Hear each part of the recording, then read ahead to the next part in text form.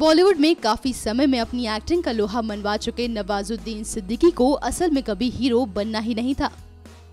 बॉलीवुड की कई बड़ी फ़िल्मों में लीड रोल प्ले करने वाले नवाजुद्दीन का मानना है।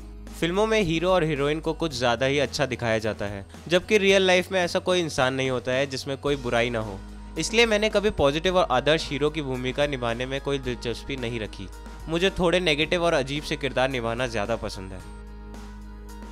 नवाजुद्दीन ने बताया कि अपनी upcoming film Babumoshai Bandookbaaz के अलावा अपनी और फ़िल्मों में डिफरेंस बताते हुए कहा कि इन फ़िल्मों में मेरा रोल औरों की तरह नहीं है।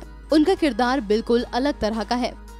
बायोपिक मंटो के बारे में उन्होंने बताया कि मेरे मन में बहुत से नायक हैं जिन पर मैं एक फ़िल्म बनाना चाहता हूँ। लेकिन यहाँ सिर्फ़ दो बायोपिक मेरी पसंदीदा है बैंडेड क्वीन और गांधी फ़िलहाल नवाज़ को विश्वास है कि बाबू मोशाए बंदूकबाज फ्लॉप नहीं होगी। ये फ़िल्म 25 अगस्त को रिलीज़ होगी। फ़िल्म में नवाज़ के साथ बंगाली एक्ट्रेस बिदिता बाग नज़र आएँगी। एनएमएफ न्यूज़ की रिपोर्ट।